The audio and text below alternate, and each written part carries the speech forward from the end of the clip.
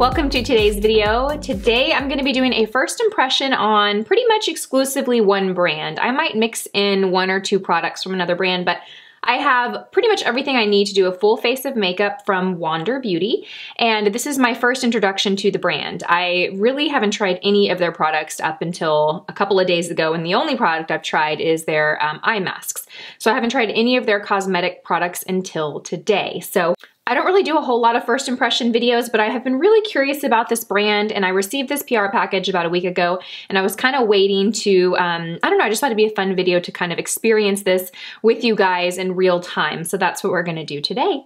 So uh, I have freshly cleansed, moisturized skin. The only cosmetics that I have on my face right now is a little bit of the Total um, Renewal 3, one, 3 in 1 Eye, which is like a color correcting, really sheer concealer. And then I have a little bit of brows, but I'm pretty much bare faced aside from those two products. So we're just gonna kind of build from this. Um, okay, so I have a ton of products in front of me. I think the first thing I'm gonna start with is their foundation. It is the Nude Illusion liquid foundation and they sent me the shade, I believe they sent me the shade medium. Yes, medium. And it's described as a weightless fluid foundation formulated for full coverage with natural radiant finish designed with a doe foot applicator, I like that, to deliver seamless coverage wherever you wander, cute, enriched with uh, niacinamide and lotus flower to improve skin's radiance.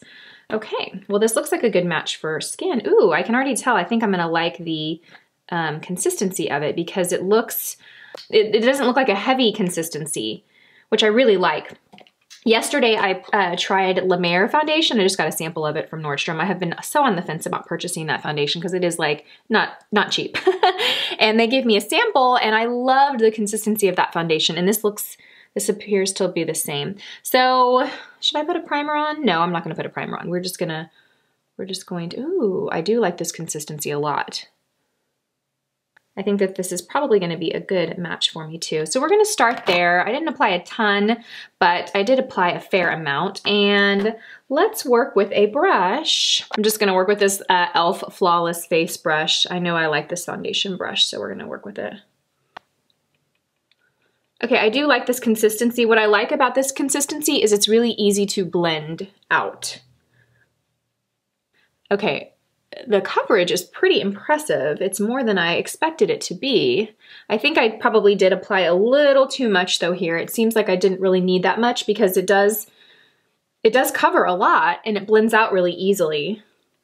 So a little bit goes a long way, if that makes sense. Like it gives good coverage and it also gives good coverage on the face in terms of, you know, how far it moves.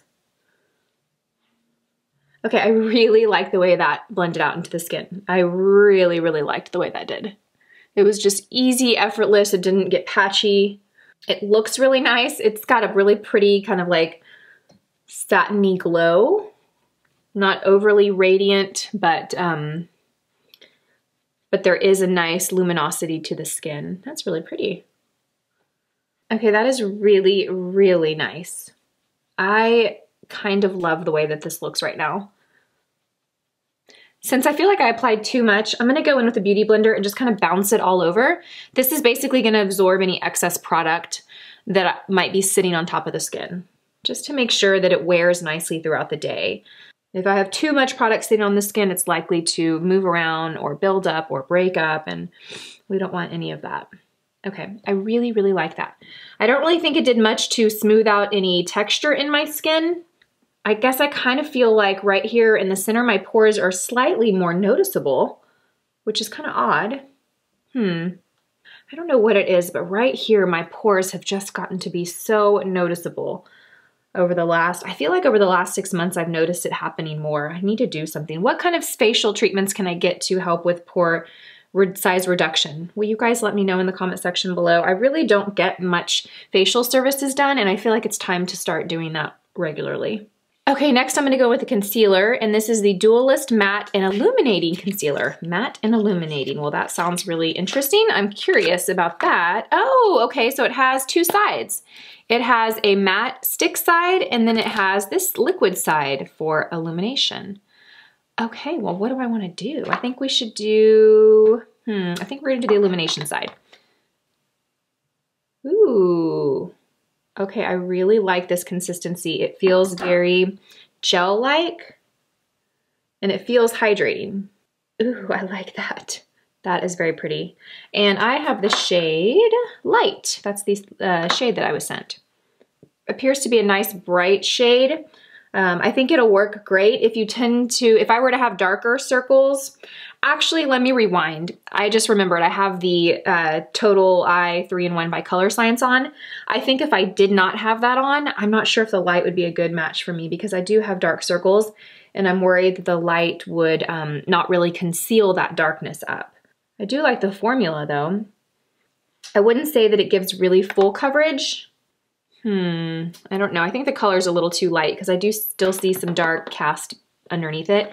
And I think it's not necessarily the formulation. I think it's the um, color. I'm gonna take the matte side and we're gonna try the other side just because I'm really curious of how this works. Okay, this is a nice texture. I typically don't like like sticks like this because I feel like they can be drying. This feels more hydrating than others I've tried. Okay, definitely more matte. There is very big difference between the two concealers. I like that this product gives you two options though. I really like that because um, I think for me, I would probably apply the um, luminous uh, consistency underneath the eyes and I would use the matte stick for um, concealing on the skin or on the face. Yeah, the color's definitely a little too light. But aside from that, I, I like the, the uh, payoff of it. The luminous side is really pretty under the eye. It does give um, a bit of a glow. It's not really giving me the coverage that I want though. And I can't decide if that's just because the color's too light or it's the formula. So one thing I do know about Wander Beauty is the products are meant to be very multitasking and multi-purpose. Uh, I listened to an interview from the founder and that was like her whole thing about creating the brand. They wanted to create products for like um, busy women on the go. I feel like we are busier today than we ever have been and so they wanted to create products that were multitasking.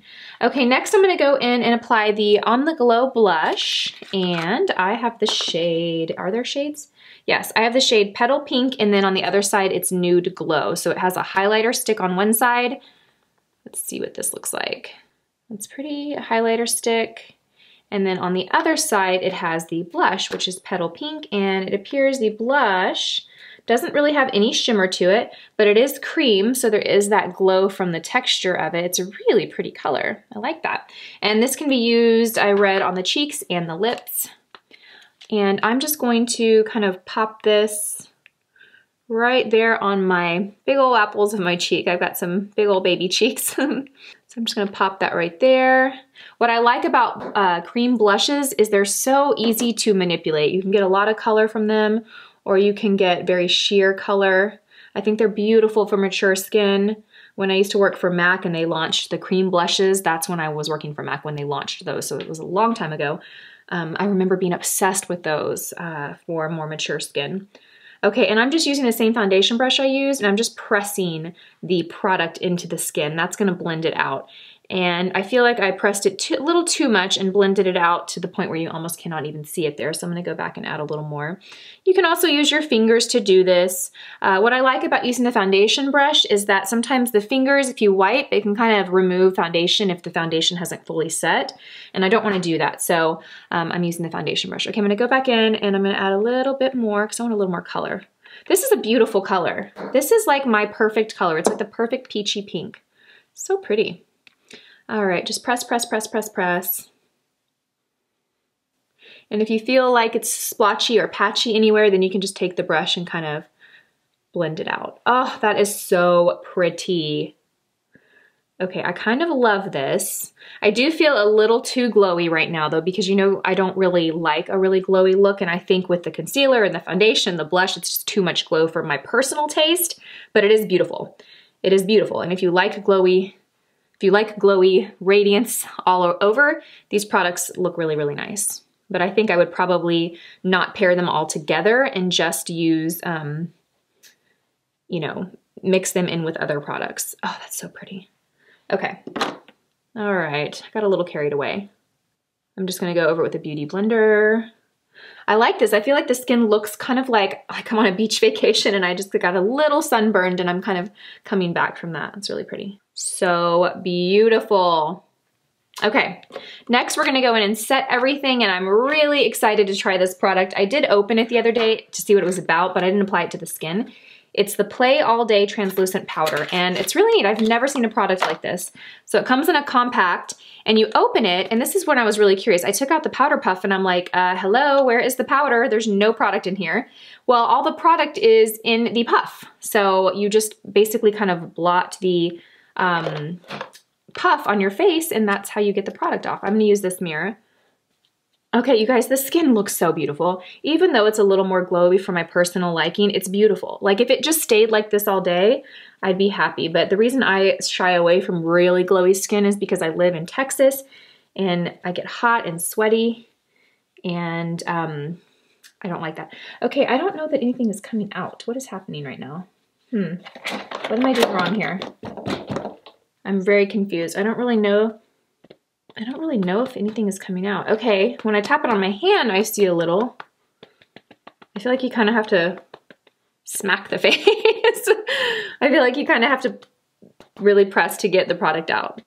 Yeah, it's okay. There you go. Okay, there you go. I think you just kind of have to work with it when you first open it. This one's brand new and nothing was coming out at first, but now, now it's coming out. It did subtly set everything without looking overly powdery. I'm not quite sure how I feel about this though. Um, I don't know. I think it's an interesting concept. I think I'll have to play with this more, keep this in my purse as a touch-up powder, but I'm not quite sure if I love that or if I kind of think, what's the point? I don't know. Okay, the next product is their brow pencil. And I did swatch this on my hand and I'm pretty sure this is gonna be too light, but we're gonna try it. It's the Frame Your Face Micro Brow Pencil. And it uh, has a spoolie on one side, as they all do, and then it has a really, really fine brow uh, pencil on the other. You can see the color right there. It appears to be a little too light um, and a little too warm, but let's try it out. Okay, um, I'm going to just create little hair-like strokes my brows need to be tamed. I have an appointment in a couple of weeks with a girl that comes highly recommended by two of my friends here. So I'm really excited. She's supposed to be incredible. Okay, this brow pencil's nice, and I do think this color will work. I'm gonna go over it with the gel too, because I always do that, and I think once I add the gel, it'll be perfect. Wow, my brows are so out of control right now. They usually don't grow, so I never have to get them tweezed or like manicured, but I've been using, um, was it Revita Brow? I've been using a uh, brow growth serum and it's definitely worked because now I feel like they're a little bushy in certain areas. Okay, I like this brow pencil. I don't know that it would uh, replace my current product that I love, which is the NYX Micro Brow. No, it's not the Micro Brow, it's the uh, Precision Brow. I don't think this would replace it, but it's nice. I'm just gonna add a little bit of gel. This is the L'Oreal Brow Stylist. Okay, for eyes, I'm going to play with two Sydney and Grace uh, eyeshadows that I haven't yet played with. So I'm gonna set my eyes with a little eye primer first. I'm using the Milani eye primer and I'm just going to run this across my lids real sheerly. This is gonna give the shadow something to adhere to. Keep it on all day. Okay, so this is the shade San Diego, and it looks to be a very, very warm matte um, neutral shade. I'm gonna pop this in my crease. Ooh, I like this color. It's very, very pretty. Kind of reminds me of like a peanut butter color. I really do like this foundation. I think I definitely applied too much though. Next time I need to apply less. I think my pores appear to look a little larger because I did apply too much. I think if I had applied less, it wouldn't they wouldn't look so noticeable. And I'm kind of focusing this in the crease, but I'm also bringing it on the outer half of the lid and even a little bit lower. I'm gonna go on the lid with a darker color, so it's okay if I get some of this on the lid. Next, I'm gonna pop this on my lid. This is the color Amber, and it is a gorgeous frosty bronze with a lot of warmth to it. I think this is gonna be really pretty. And I'm just gonna load my brush up and just kind of press this onto the eyelid. Ooh, that's pretty. This reminds me of the shade uh, Bronze from MAC, which is a shade that I used to wear all the time.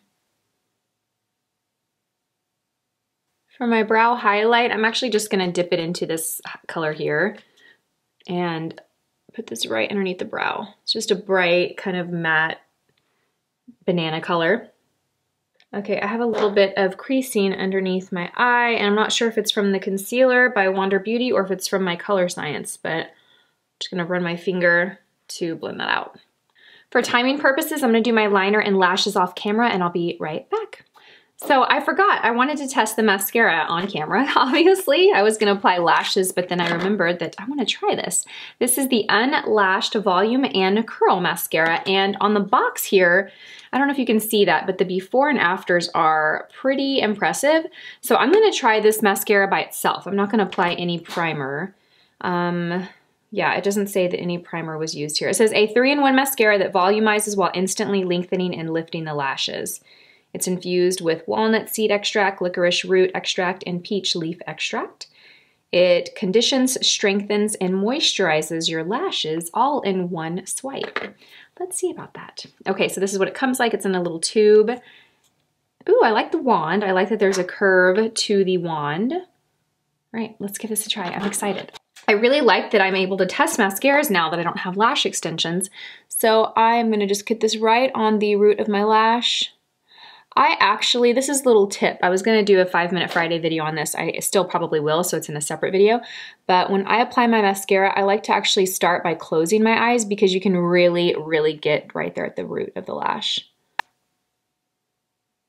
Hmm, okay. A little impressive. I don't know that the results are as dramatic as what I saw on the box. Let me load this brush up a little bit more and add another coat. I definitely think it lifts and curls the lashes though and it looks to give like a soft, um, like a soft lash look, which I like. Okay, I like this. I think it's good. I definitely think I want a little bit more lash though, so I'm gonna add a little more and see if that gets me to where I wanna be. And if not, I'm gonna try it on the other eye with a primer and see if it gets me where I wanna be. Because I almost always use a lash primer with mascara. Okay, this is really nice. This is really nice, you guys. Lots of volume, good length, good curl and lift, and they look natural. Natural in the sense that they don't look like clumped together, they look soft and separated. That's really pretty. Okay, let's try it on the other side with primer and see what kind of results we get. And there it is, there's my favorite primer. We're gonna try the Dior Maximizer primer. This is my favorite lash primer. It just makes every mascara look amazing. Now let's go in with this. And if you missed my dupes video, I actually have a really great, great dupe for this. It's the L'Oreal Lash Primer. Um, pretty similar results and a fraction of the price. Okay, then we're gonna go in with the Wander Beauty Mascara. I think this is gonna give more drama because after one coat, it's about the intensity of a couple of coats on the other side. What do you guys think? I do think the left side with primer is slightly more dramatic. I do think this mascara gives a really, really good noticeable curl, and I like it. I definitely like it. I don't think it's as dramatic as some of other mascaras, but it's very, um, it gives good length and good volume. Okay, so we're gonna do the lower lashes, and I think I really will like this on the lower lash because it is soft and feathery. It's just gonna have a softer look on the lower lashes.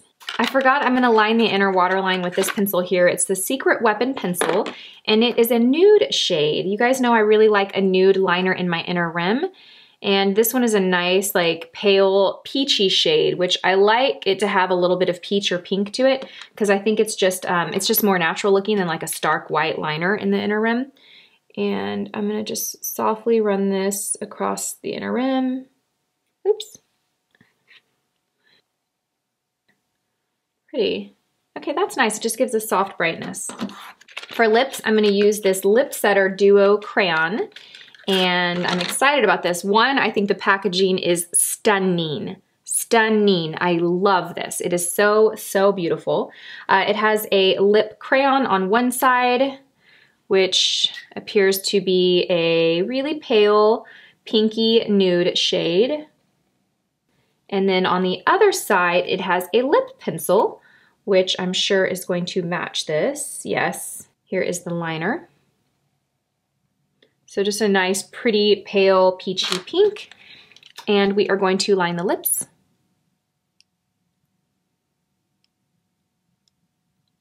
I'm slightly overlining my lips a little for more volume. Okay, that has a lot of pigment, much more than I thought. One thing I will say is I raised it so I could show you guys the color and I didn't lower it.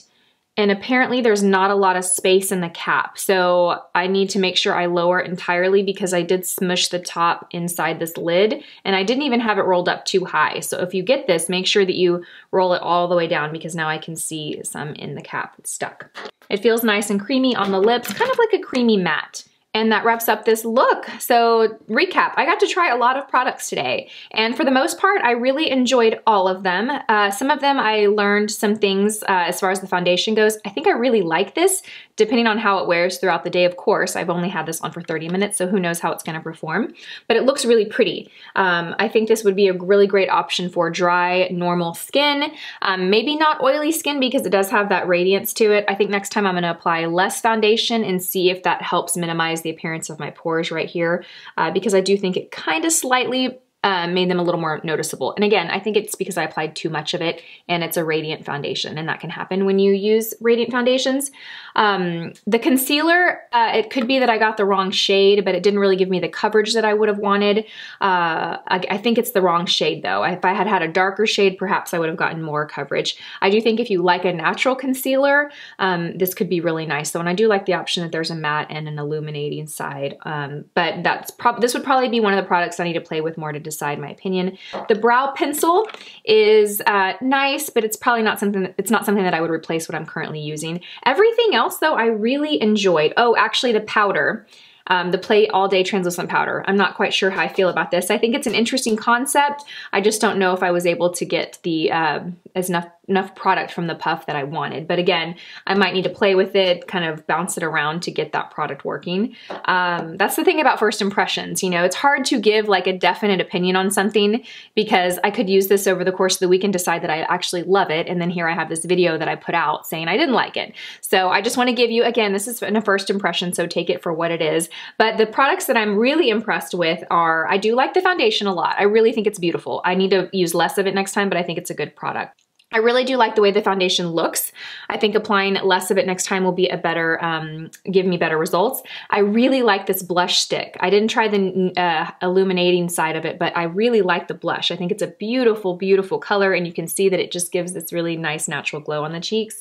I really like this lip product. Um, really cool. I definitely want to check and see what other colors they have in it. Um, the mascara is nice. I like the mascara. Uh, what else did we try? The, um, oh, I didn't show this on camera, but I did apply this to my lips before we started. It is called Beach Balm, and it's essentially like a um, lip moisturizer is what it is. It's kind of like a balm for your lips, and I just love the packaging. It's clear, so there's no color to it, but I did kind of prime my lips, and I really like this a lot. Uh, what else did we use that I really, really liked? So yeah, overall, I like the brand and I'm uh, happy that I had an opportunity to try it. Thank you Wander Beauty for sending me these products and letting me share them on my channel. As always, you guys, I'll have everything that I use linked in the description box below, including the products that are non-Wander Beauty related. Those will be linked as well. Um, thank you guys so much for watching and I'll see you all in my next video. Bye!